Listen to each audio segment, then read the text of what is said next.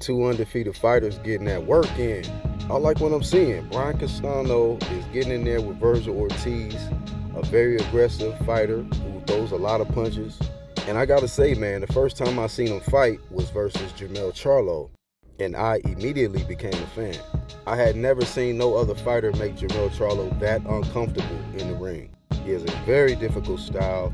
He feints a lot, and he just really selective with his punches. But he's a very accurate puncher, and that is something Jermell Charlo had issues with in the first fight, and that's something he's gonna have to worry about in the second fight. Brian Castano, however, he just needs to keep doing what he did in the first fight, but just be concerned about them heavy shots landing from Jermell. As long as he doesn't get hurt, I think Brian Castano has a really great chance of winning this rematch. As for Vergil Ortiz, I look forward to see what he does in 2022 in the welterweight division. Thank you for taking time to view this short video. Don't forget to hit the like button and check out the channels tab. Some hot channels on there. I'm BHP and I'll catch y'all on the next one.